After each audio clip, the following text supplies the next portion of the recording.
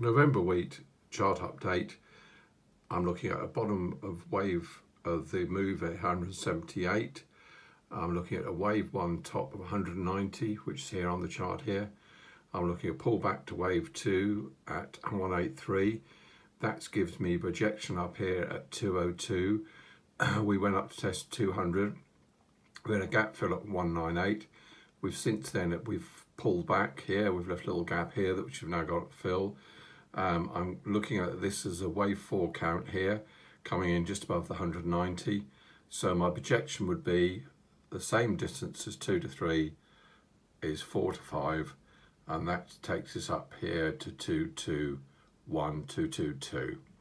Uh, I've got a sort of roadmap. I like to put projection in here. So we're looking at next target to break through the 197, 200, and then we're looking at 202 for next move up from, from where we are at the moment. So one, two, three, four, five.